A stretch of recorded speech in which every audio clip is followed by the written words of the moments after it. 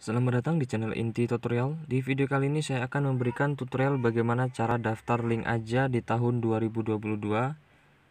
Oke, langsung aja kita ke tutorialnya. Cara daftar link aja ini ada dua ya. Jadi ada link aja basic sama link aja full service. Perbedaannya adalah kalau link aja service ini bisa simpan saldo hingga 10 juta, bisa tarik uang dan transfer uang kalau yang basic ini hanya bisa simpan uang sebanyak 2, 2 juta dan fitur tarik uang atau transfer uang masih nonaktif.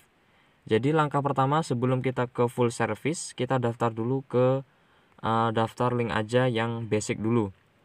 Caranya gampang, kita menuju ke Play Store. Kemudian di Play Store kalian ketikkan saja link aja. Oke, ini dia. Setelah itu kita install aplikasinya link aja. Kita tunggu prosesnya. Oke, jika sudah, kita klik buka di sini.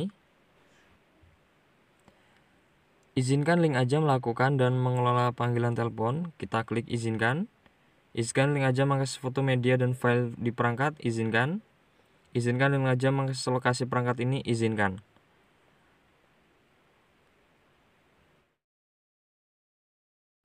Oke, jika tampilan seperti ini, kita scroll aja ke samping.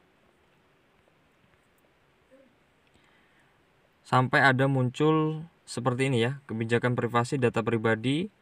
Kalian klik lanjut aja di sini. Kemudian kita akan dimintai masukkan nomor telepon Anda. Silakan kalian masukkan nomor HP kalian. Jika sudah, kalian bisa klik mulai di sini. Masukkan kode verifikasi yang dikirim melalui SMS di nomor tadi.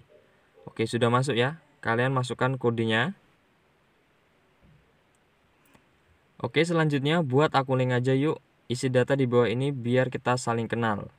Silakan kalian masukkan nama lengkap dan alamat email kalian. Oke, jika sudah, kita klik buat akun di bawah sini. Kemudian kita aktifkan layanan syariah. Kemudian kita diminta buat pin link aja.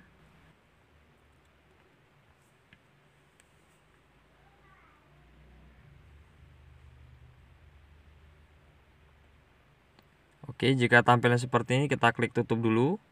Maka sekarang kita sudah memiliki akun link aja atau akun link aja untuk yang basic ya. Adapun untuk yang akun full service, silakan kalian cek tutorial saya di video lainnya. Oke, semoga bermanfaat dan terima kasih.